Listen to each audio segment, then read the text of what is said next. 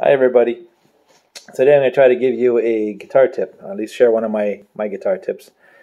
Um, what I call it is for the blues, so let me put a blues hat on and grab my favorite blues guitar, my 335 Gibson. This is a sweetheart. Uh, it doesn't leave the house very often because I don't want nothing to happen to it. I don't want it to get damaged or I can't replace it at this point.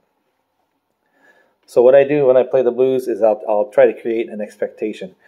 Uh, in other words, it's not always what you play. Sometimes it's what you don't play that's the sweetest part. So let, let me try to demonstrate demonstrate for you. Without the band, it's a little bit trickier, but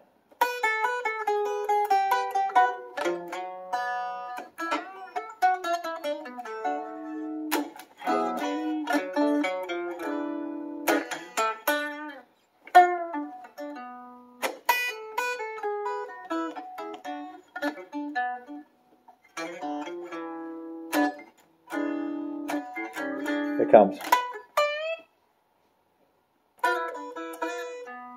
It's on time.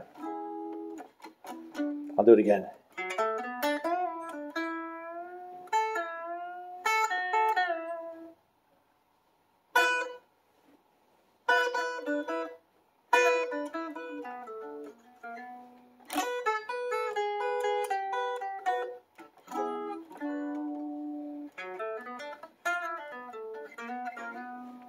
Ooh, I got the blues, yeah.